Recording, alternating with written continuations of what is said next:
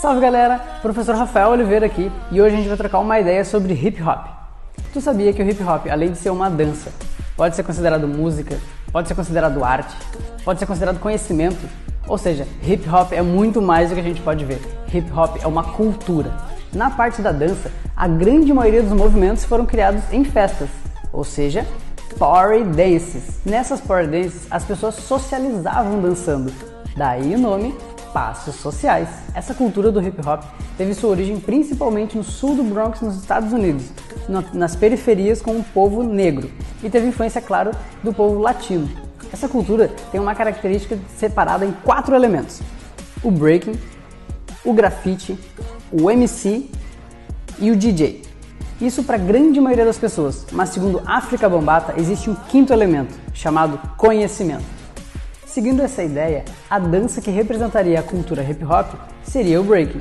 Sim, mas conforme o tempo foi, o tempo foi passando, várias vertentes foram, foram surgindo. As pessoas iam para as festas socializar ao som da rap music. Daí surgiram os passos sociais, as pessoas usavam para socializar nas party dances. Com o tempo, esse movimento chamou uma grande atenção da mídia e alguns bailarinos foram convidados a participarem de videoclipes. Por isso, essa ideia de cultura, de dançar em roda, em uma festa, sofreram algumas modificações. O que a gente mais vê hoje em festival, uma coreografia voltada para o público que está assistindo na frente. Dentro do universo da dança, alguns movimentos sofreram grandes influências por conta da tecnologia utilizada na época. Alguns movimentos eram impossíveis de serem captados pela câmera, eram muito rápidos, então a gente teve que adaptar o movimento para ficar no boom, bap, boom, Bap, movimentos mais lentos, porém mais amplos. Ainda hoje estamos em constante adaptação de movimentos, seja pela tecnologia, seja pela ampla quantidade de criação em cima dos movimentos que a gente já tinha.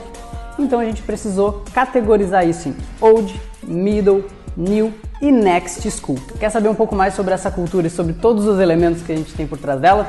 Vem fazer aula com a gente aqui no estúdio Grace Grossa. Até a próxima!